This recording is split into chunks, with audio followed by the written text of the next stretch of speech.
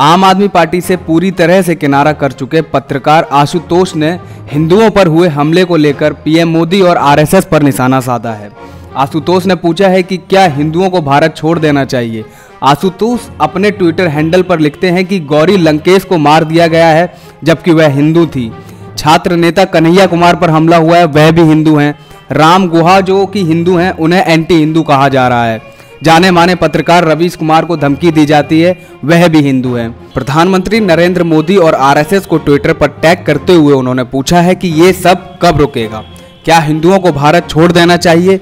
आशुतोष के इस ट्वीट पर अभी तक बीजेपी या संघ की तरफ़ से कोई प्रतिक्रिया नहीं आई है। Bureau report, National India News. अगर अभी तक आपने चैनल को सब्सक्राइब नहीं किया है तो प्लीज़ सब्सक्राइब कीजिए और ताज़ा अपडेट पाने के लिए बेल आइकन को दबाना ना भूलें।